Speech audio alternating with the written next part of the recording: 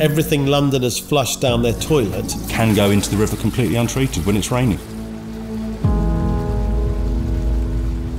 We had to do something about this.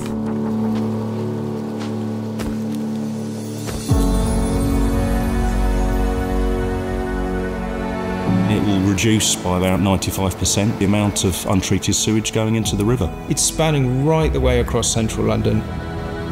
There's an awful lot of complexity.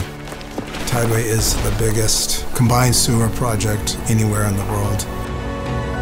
The work that we do in construction is not easy. It comes with the risk of disrupting London and all sorts of catastrophic things. Through that area and the depths that we're talking about, it is challenging.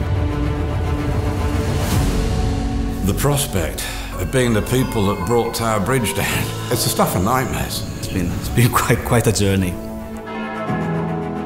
It's not been done, and it probably won't be done again. It had to be efficient, had to work. We had to launch a TBM in sections.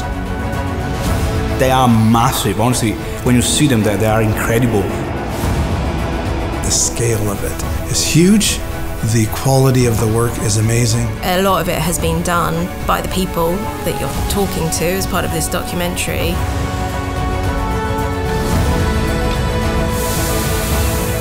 This is more than just building. This is about trying to repair a broken love affair. The river would be up, it'd be down, it'd be fast, it'd be slow, it'd be dark, it'd be light. It's like, wow, this is the most dynamic river. People want to be down at the river. We've built new public realm areas which the public can use, but they don't know what's under their feet. It's going to improve the life of millions of people in London. They're just new spaces for everyone else. They're not necessarily going to know they're part of anything. There's a, a very large hole beneath your feet dealing with all of the wastewater issues.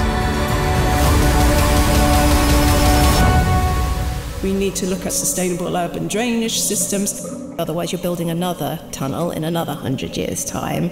That's the reality that we've all got to face up to.